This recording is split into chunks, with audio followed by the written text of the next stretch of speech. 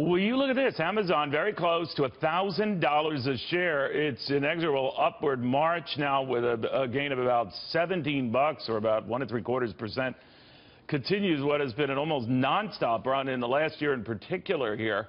Uh, and opening up an opportunity against the so-called brick and mortar guys, although not all of them are failing. Uh, Tracee Carrasco is here with the very latest. What's going on, Tracee?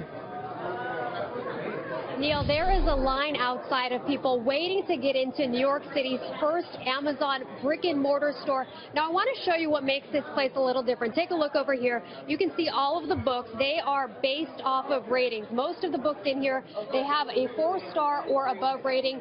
It's what you would see on the website. A lot of them have reviews about the books. The books are all cover out, so readers can come in and really see what the store has to offer.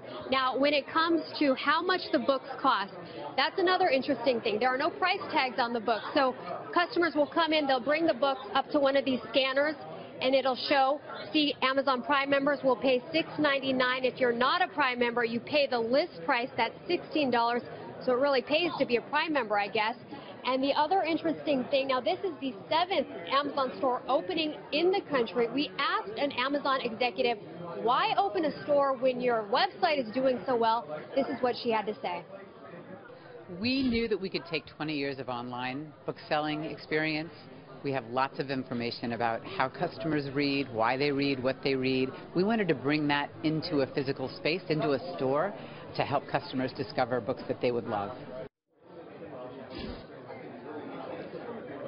Now, the store also sells electronics. The other interesting thing, there are no chairs, so customers really aren't going to be lingering around like other bookstores uh, may have been promoting.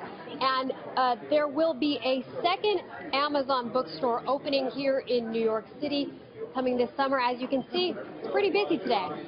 Neil? Incredible. All right, Tracee, thank you very, very much.